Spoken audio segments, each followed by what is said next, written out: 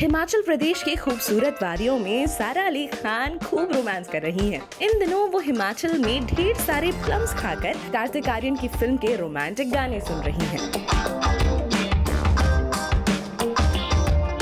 Well सारा अली खान जो इन दिनों इम्तियाज़ अली की आने वाली फ़िल्म लव आजकल टू की शूटिंग हिमाचल में कर रही हैं, आए दिन सभी फैंस को कार्तिक के साथ अपनी फ़ोटो शेयर कर खूब रोमांटिक वाइब्स दे रही हैं।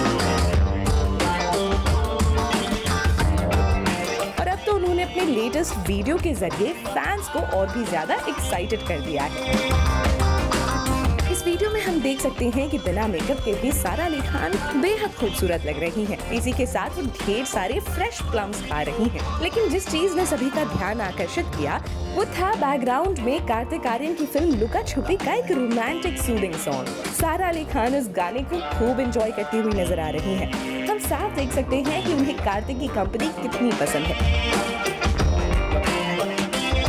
इसी के साथ अब तो फैंस भी सारा को छेड़ कर ये बोल रहे हैं कि आखिर क्यों कार्तिक के साथ अपनी रिलेशनशिप को ऑफिशियल नहीं कर देती।